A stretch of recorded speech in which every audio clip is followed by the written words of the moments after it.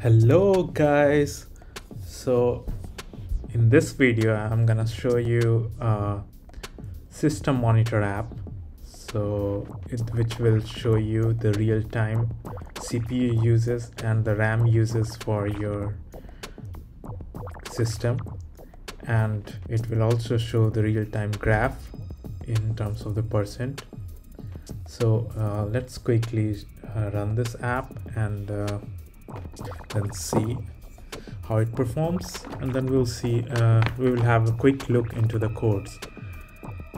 So I will uh, first quickly uh, run it using the Python. So I've already made the, the environment in the library. Uh, you can make environment using Python M.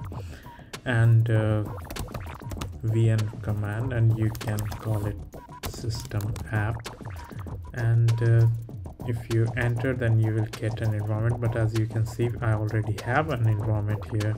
So uh, I don't need to execute this command but you can run this command. And after that uh, you might have to uh, install these libraries uh, the one recommended is pyqt5 pyqtgraph psutil and others are just the dependencies which will automatically get uh, installed. So uh, let's just quickly run this uh, app. So for running this app uh, I will run it from the uh, environment. So it's a system app. Yeah and uh, pen python.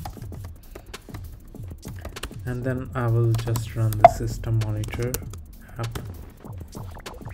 And here is it's loading and you can see you have a system monitor app which shows uh, the real-time CPU uses and the RAM uses and plot in terms of the, uh, uh, in terms of the CPU percent and the plots uh, the X range is automatically updated for last 15 seconds.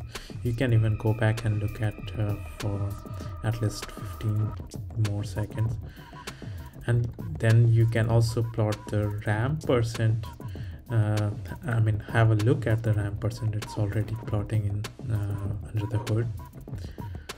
So uh, this is the app and uh, you can see that it will automatically detect your system. I'm running it on mac os which is darwin x86 processor uh, x86 architecture and the, this processor.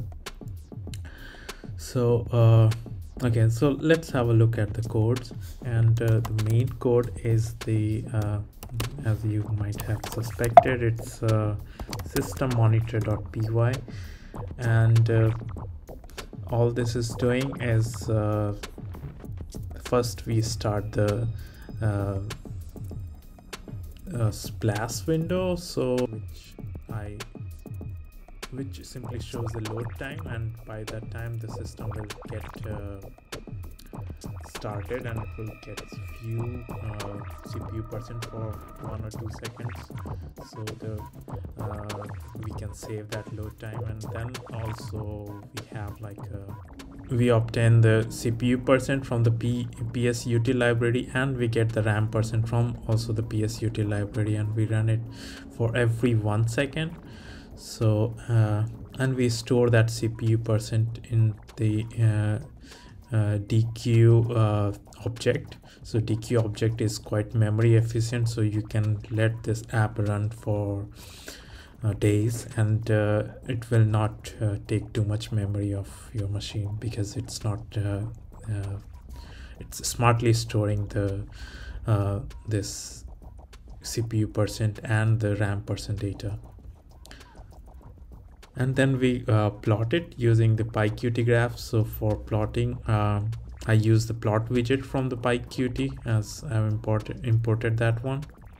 And then add it to the uh, to the uh, main window. Uh, and then this plot is automatically updated. Uh, so we just keep setting the data the x-axis and y-axis and data is set based on the uh, the CPU or RAM.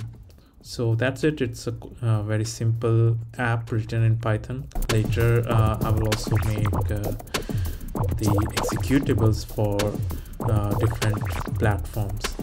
Thank you guys